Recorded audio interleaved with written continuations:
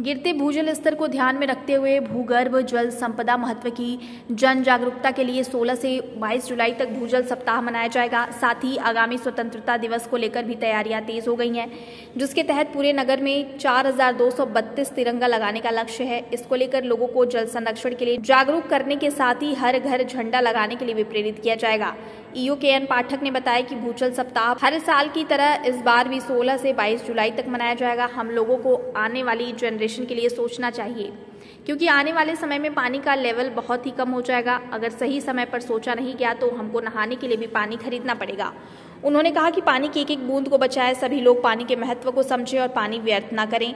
साथ ही ईओ के एन पाठक ने कहा कि जन जन तक पहुंचाना है, जल संरक्षण अपनाना है।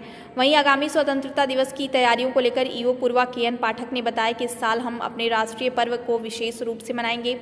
इस साल हर घर पर तिरंगा फहराना है। सरकार की मंशा के अनुरूप इस बार नगर पंचायत पूर्वा में 4,232 तिरंगे फहराने हैं जिसके लिए वह अपील करते हैं। इस पावन पर्व को विशेष रूप से मनाने के लिए नगर पंचायत का सहयोग करें ताकि नगर पंचायत का नाम पूरे ज़िले में ही नहीं बल्कि प्रदेश में नंबर वन पर हो। इसके लिए सभी नगरवासी झंडा अभियान में बढ़ चढ़कर हिस्सा लें और नगर पंचायत में झंडा दान भी करें ताकि ये अभियान सफल हो सके और हम अपने लक्ष्य से ज़्यादा नगर में झंडे फहराएँ। ये भूजल सप्ताह हर वर्ष मनाया जाता है। और इस बार 16 जुलाई से 20 जुलाई तक जो है चलेगा। इसमें जो है कड़े निर्देश दिए गए हैं जिस प्रकार से लोग पानी को वेस्ट कर रहे हैं, उसमें तमाम प्रकार की, कैसे कैसे हमको पानी बचाना है, इस पर हमारे तमाम वहाँ वैज्ञानिक भी थे।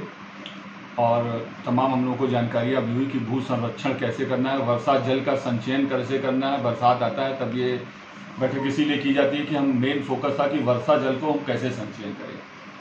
ये जन जन तक पहुंचाना है, जल संरक्षण अपनाना है, ये उसका लोगो है। और इसमें भी ये बात भी पॉइंट आउट करके कही गई है कि आने वाले समय में जो हमारे जो जनरेशन है, जो हमारे बच्चे हैं, वो ऐसा बाद में ना कहें कि पानी का रेट और दूध का रेट इस समय जैसे कि लगभग बराबर हो गया है। कि पानी बिल्कुल और पानी का लेवल इतना ज़्यादा नीचे गिरता जा रहा है कि आने वाली जनरेशन को इसमें बहुत प्रॉब्लम होने वाली है। पानी बिल्कुल भी लेवल इतना कम हो गया कि आने वाले 10-20 सालों में हम लोग को पानी की समस्या से इतना जूझना पड़ेगा। ऐसा समय आ जाएगा कि जब हम पानी नहाने के लिए भी खरीदने लगेंगे। अभी तो पीने के लिए हमको जगह जगह खरीदना ही पड़ता है, नहाने के लिए भी पानी खरीदना पड़ेगा। और इसको बहुत ही सेंसिटिव इशू माना गया है इन वर्षों में। पानी इतना ज़्यादा जल स्तर नीचे गिरता जा रहा है, इसके लिए जो है हमारा, जो है सभी यहाँ क्षेत्रवासियों से अनुरोध है कि पानी की एक एक बूंद को बचाएँ, जैसे भी जो कि एक एक बूंद पानी को बचाएँ। और हम चाहते हैं कि पत्रकारों के भी माध्यम से, पत्रकार बंधुओं के माध्यम से ये संदेश इतना वायरल किया जाए कि जो है पानी को लोग, जो है पानी के इम्पोर्टेंस को समझें और पानी को बचाएँ। इस वर्ष जो अपना स्वतंत्रता दिवस है वो विशेष रूप से मनाया जा रहा है और हर घर तिरंगा इस बार फहराना है। और हर घर तिरंगा में जो है सरकार की मंशा है कि जो है इसमें या व्यापारी वर्ग लोग और जो संभ्रांत व्यक्ति हैं क्षेत्र के, वो लोग आगे बढ़ के आए और मेरा उनसे अनुरोध भी है कि वो आगे बढ़ के आएँ और इसमें सहयोग प्रदान करें, झंडा दान भी करें और अपने यहाँ लगाए भी बड़े सम्मान के साथ झंडे को लगाना है और झंडे को उतारना है।